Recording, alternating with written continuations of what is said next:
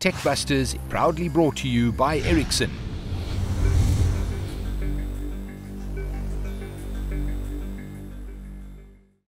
So many years ago, 25 years ago, I was a backpacker and I found myself in Israel working on a farm in a desert. And I saw firsthand just how efficient the Israelis are with water.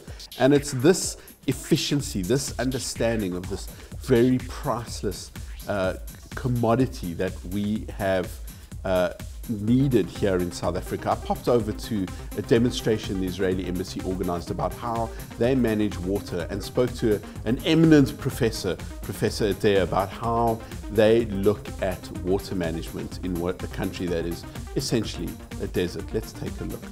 So what are some of the, the highlights that Israel does to, to make water more than just, you know, something that comes out of a tap? The largest consumer of water in South Africa, around the world, is the agricultural sector. Yes.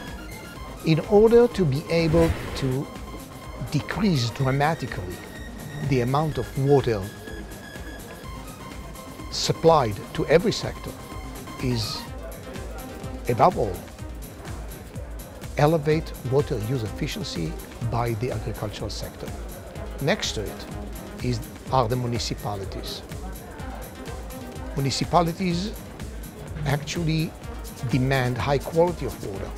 That, that means the most expensive water. If that water is not used appropriately, in efficient way, we waste resource.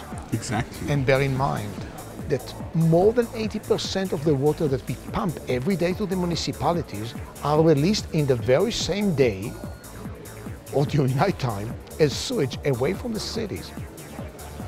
So even you use the water in the most efficient way, you have a resource in your hands that if treated as we observed in several presentations today, it is a resource. It can be used by the surrounding farmers. Every municipality is surrounded by agriculture community and to elevate the efficiency of the water maintenance. 40% leakage is not acceptable.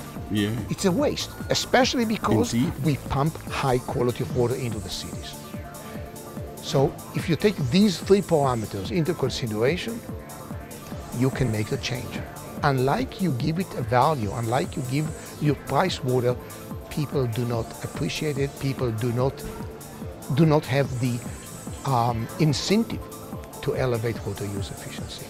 Without that, there is no way to proceed. The fourth parameter is education. You have to educate the public to appreciate water as a resource. It is a dramatic resource. You have to look for additional water. It can come from treating sewage water, and here you have, as we say, two pigeons in one shot. You save the environment, you ease the burden on the environment, exactly. and you, by reclaiming the water, you actually use it for food production. And all other cheaper resources are not sufficient to provide what is needed, you have to manufacture water.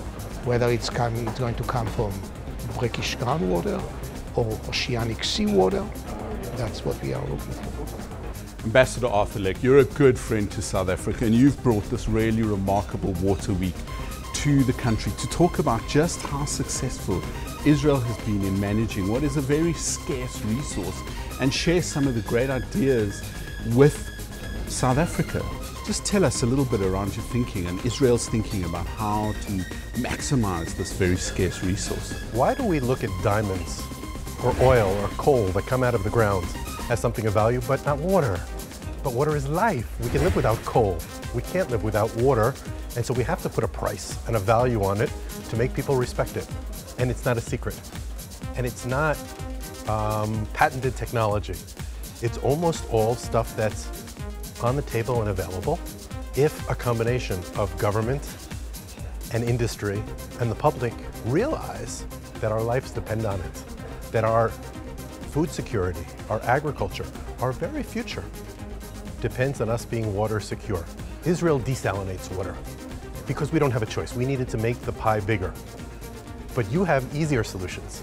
If you just saved the leakage from municipal pipes and cut that down from 40%, 40% to 20%, look how much more water you have. If you're Exactly. able to get to use drip irrigation, 95% of the farmers in Israel use drip irrigation. In South Africa, they say it's 10 to 15%. If we could get half of the farmers in South Africa to use drip irrigation, think about the amount of water. That's free water Indeed. that already exists.